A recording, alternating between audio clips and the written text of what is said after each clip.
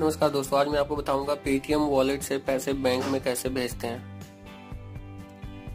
Paytm अपना खोल लीजिए।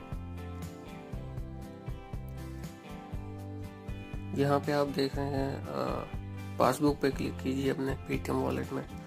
अब अपने वॉलेट में क्लिक कीजिए। अब यहाँ देख रहे हैं download statement send money from wallet to bank इस पे क्लिक करना है। इनका चार्ज भी लगता है, मैंने इस पर भी वीडियो बनाई थी। आप देख सकते हैं, एक रुपये डाल रहा हूँ तो ज़ीरो पॉइंट फाइव लग रहा है। नीचे साफ़ साफ़ लिखा है कि पाँच परसेंट चार्ज लगेगा। तो मैं कम की कोशिश करूँगा। अब एक रुपये भेजा नहीं जा रहा, मिनिमम सौ रुपये है। सौ रुपये डाल के प्रोसीड करना है आपको। अब किस बैंक में भेजना है वो भी कर सकते हैं।